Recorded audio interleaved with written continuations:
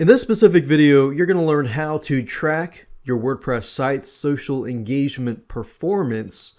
And the reason why you want to do this is because as Google and other search engines are moving towards using social engagement, social media as a metric or a way to determine your site's performance, you need to have a good idea of where your site is and how it can be improved.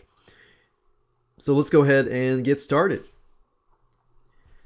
Now, there are several ways to go about this. And the first thing I want to talk about is Google Analytics. Google Analytics actually, within their system, they have a social plugin.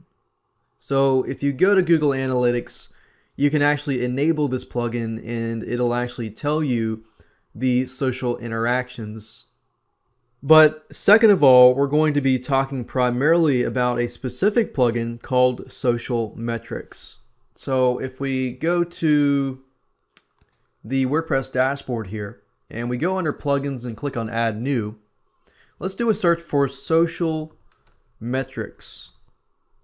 Click search plugins and this is the plugin up here. So if we click on details, you can see there's a little more detail about this specific plugin.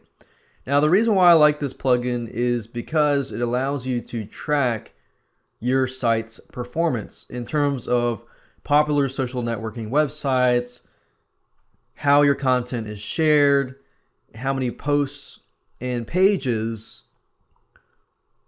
have been shared across these networks. And this gives you a great idea of your social performance. So if you click on install now, click OK, we'll go through the installation process, enter your FTP username and password, click on proceed, click on activate plugin, and there we go. So up here, you're going to see social metrics. If we click on this, you will see once it begins to detect your your how Twitter announces certain content on your site, how people have announced on Facebook or Google Plus, stumble upon, Digg, and LinkedIn. Now, of course, right now you don't see anything just because I've just installed the plugin. However, as your site begins to grow, as you begin to create posts, create pages, and get announced through Twitter and Facebook and Google Plus and so forth, it'll actually tell you the statistics of certain posts and certain pages. Now, the beauty of this plugin is you really don't have to do a lot of tweaking in terms of customization of your settings, but the only settings that you can actually tweak is the number of posts to display at a time. And just to give you an idea of what it would look like, as you can see here, we've got titles, tweet boxes, and it tells you, okay, this specific title has been announced on Twitter 83 times, on Facebook 23 times, on Google Plus 4 times. And this gives you a good idea of how your content is being shared, but not only that, it gives you an idea of what is popular.